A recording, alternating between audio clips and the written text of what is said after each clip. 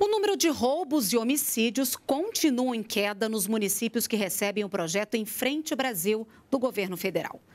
Quem explica para gente é o repórter Dimas Soldi, direto de São Paulo. Dimas, bom dia para você. Bom dia, Renata. Todos os cinco municípios que fazem parte do projeto piloto tiveram reduções na criminalidade.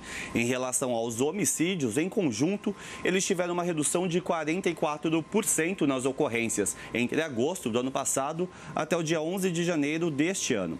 As maiores reduções foram em Ananindeua, no Pará, com queda de 65%, e em Goiânia, queda de 47%. Já em relação aos roubos, os municípios tiveram juntos uma redução de 29%. As quedas mais significativas foram em Goiânia e em Paulista, que fica em Pernambuco. Ainda fazem parte do projeto e tiveram reduções na criminalidade Cariacica, no Espírito Santo, e São José dos Pinhais, no Paraná. O projeto Em Frente Brasil propõe uma força-tarefa em conjunto com todos os agentes de segurança, federais, estaduais e municipais. Durante quatro meses, mais de 300 mil pessoas foram abordadas e 1.718 presas. Foram apreendidas também 220 armas e 18 toneladas de drogas. Renata.